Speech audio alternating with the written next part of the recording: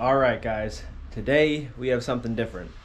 I have a new battery, the anti-gravity batteries.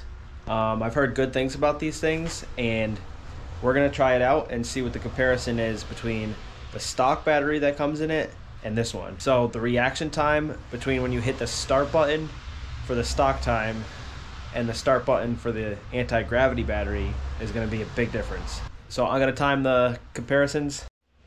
All right, so here's the stock battery. We're to see if we can get it to be as accurate as possible, but here's the start time.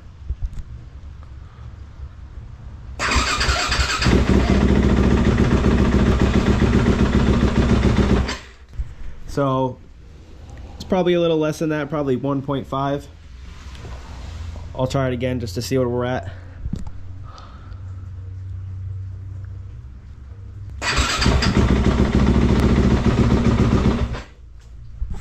So it's about a second. Now we're going to throw the anti-gravity battery in and we're going to see where we're at with that.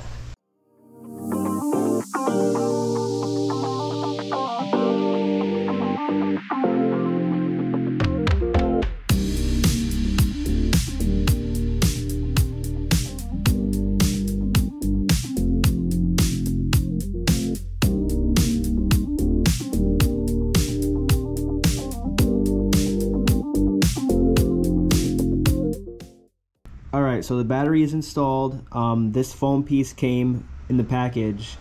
It's basically a piece that you put anywhere you have extra space. Like for me, it was under the strap. Because if you didn't have that there, the strap would just be bouncing around and come off and the battery would come loose and then you got a whole mess of problems. But we're gonna do the comparison on how fast it starts up versus the stock battery now. And let's see.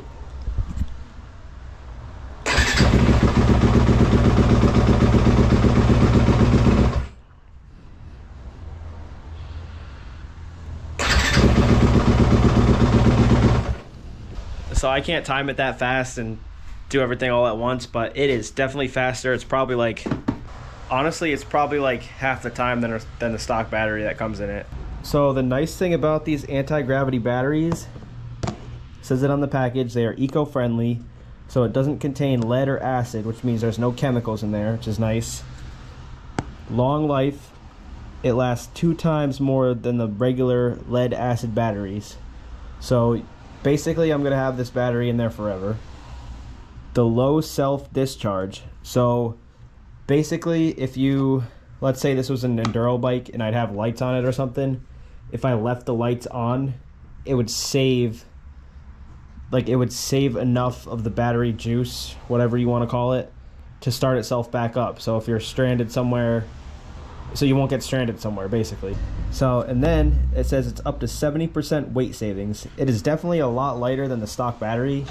I mean granted this thing is a bit heftier a bit bigger but it's still pretty light. Like it's not it's not terrible but obviously that's lighter so.